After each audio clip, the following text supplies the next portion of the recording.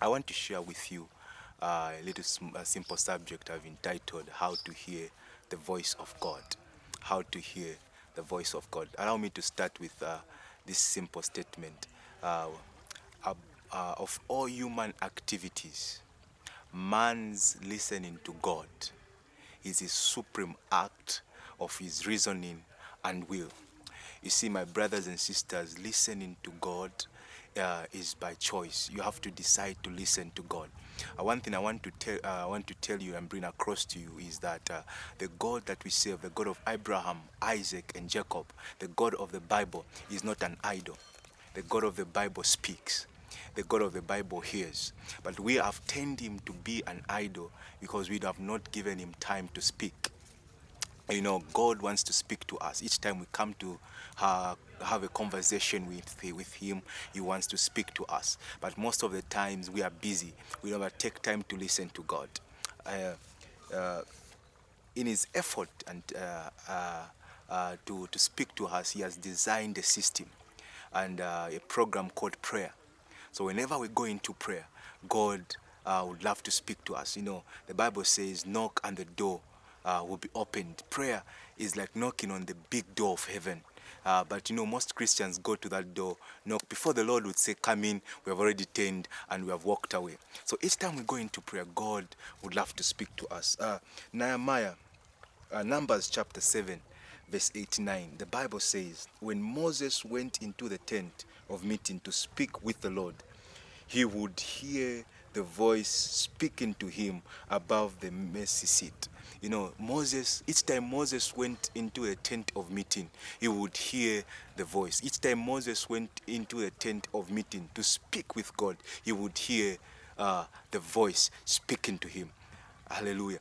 So whenever Moses went into into the tent of meeting, he always expected God to speak to him. The problem of uh, we have as Christians, each time we go into prayer, each time we go into have a conversation with God, we never expect God to speak. That is why we have never heard God speak. Each time we go, we just go speak, speak, and return.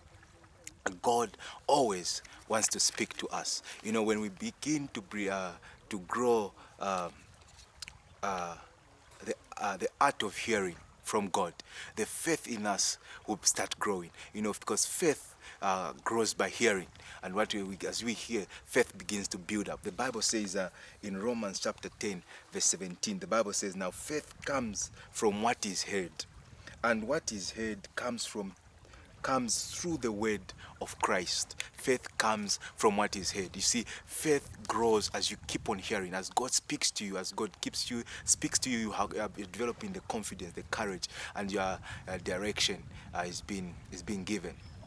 I want to bring it. I want to bring this across to you that uh, not listening to God leads to destruction not listening to God leads to destruction.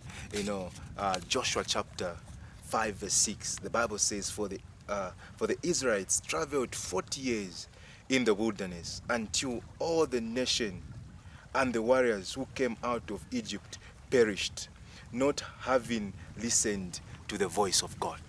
The whole nation, the whole warriors who came out of Egypt perished uh, not having listened to the voice of God. Had they listened to the voice of God, these guys would have been preserved. These guys would been preserved. But they, they they decided not to listen to the voice of God. Uh, you might be there and you're saying, uh, Joshua, then how do how would I listen to the voice of God? Uh, I want to give you three points uh, of how to listen to the voice of God, and I pray and uh, I pray. My prayer is that they will be helpful in your life. Number one is be in the Spirit at all times. Be in the Spirit. Uh, in the book of Revelations, chapter one and verse ten, uh, John says, "I was in the Spirit." On the Lord's day, and I heard a voice like a trumpet. I am the Alpha and the Omega. I was in the Spirit on the Lord's day. You see, when you are in the atmosphere, uh, we have created an atmosphere where God can speak to you. God will always speak. God is spirit. Uh, John tells us God is spirit. We have to be in the spirit to hear the voice, uh, voice of God. Hallelujah. How can you be? You are in the spirit all the time. It's not always in prayer. We're moving the spirit. Never go there. The Bible says he who dwells in the secret place. We're supposed to dwell in there, and God will always speak to us. Number two is that expect God to speak to you. Each time we go into prayer, each time we are talking to God, expect God to speak to you. Uh, if you don't have that expectation, you will never hear the voice of God. You have to have the expectation to speak to, uh, for God to speak to you, and then God will speak to you. Uh,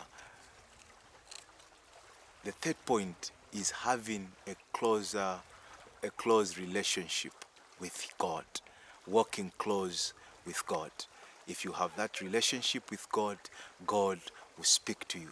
You see, the Bible says about Moses, Moses knew the mind of God. The children of Israel knew the ways of God. The difference is that Moses walked close with God. If you have today, you decide today, I want to have a closer relationship with God through prayer, the study of the Word of God, God will become your friend. I know of a man, the man called Abraham, God called Abraham a friend. You see, when you become a friend of God, God will convert, God will speak to you. He will speak to you, he will, he will, at all times at all times as you walk as you eat god will be speaking because you are friends he will he will he will be talking to you he will be speaking to you and you can hear the voice of god if you do these three things be in the spirit at all times be in the spirit expect god to speak at all times uh, acknowledge him uh, uh, always ask him questions what should i do oh lord and hear in, in inside of you uh, god speaks in various ways he might speak in a dream he may speak in a still voice, a small voice. He may speak to you through a thought. Maybe a thought just crosses your mind. That's God speaking. You have to discern when God speaks. Hallelujah. But the greatest thing uh, that uh, will enable God to speak to you is that you have to be born again. That's the first step. Uh, that you have to take as a uh, as a uh, you have to become a born again believer for God to speak to you. And how do you become a born again believer? Romans chapter 10 and uh, verse, uh, Romans chapter 10 says, If you confess your sins, He is faithful to forgive us of our sins. And I want you to confess Him as Lord, uh, confess Jesus Christ as Lord and personal Savior, and God will begin to speak to you, and you will begin to hear the voice of God in your life. Thank you so much for taking your time to watch this. May the Lord bless you and keep you. I want to pray for you um, as you as uh, as, as we call to the close. Maybe you are there saying, I want to give my life to the Lord Jesus Christ. I want you to pray this simple prayer with me. Say, Lord Jesus, uh, I've realized I've sinned and I've fallen short of the glory of God. Today, I've decided to follow Jesus Christ for the rest of my life. In Jesus' name, amen.